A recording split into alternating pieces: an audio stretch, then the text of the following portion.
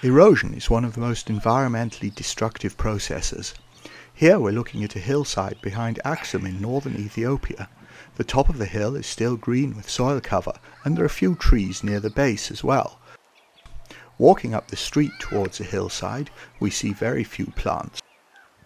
What we do see are stumps of eucalyptuses which have been cut for firewood and then grazed and we also see an invasive alien species, Argemone mexicana, a poppy, which is one of the very few goat-proof plants.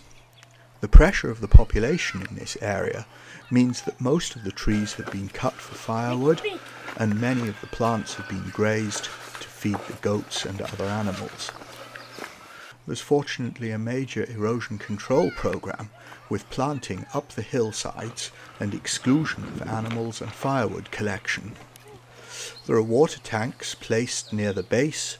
There are 25 litre containers, which used to hold palm oil imported from Indonesia, which are being used to carry water up the hillsides to irrigate the new plantings. While nobody can envy these women carrying the 25 kilo water containers up the mountain, in a country with 46% unemployment, Perhaps this is useful labour for which they can be paid.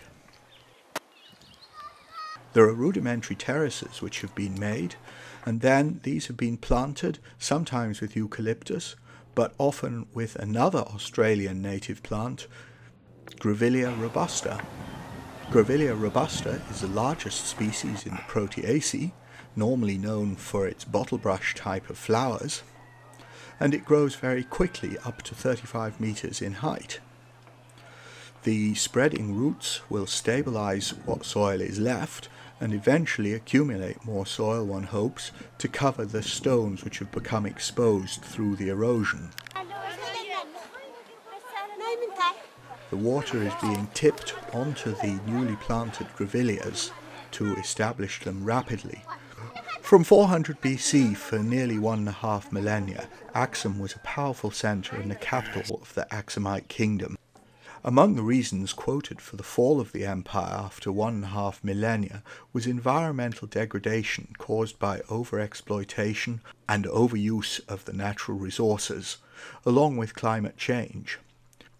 All of these are clearly things that are affecting the environment nowadays in Axum and hopefully the erosion control and reforestation seen in this video will enable the current Axum to increase its prosperity in the next few years.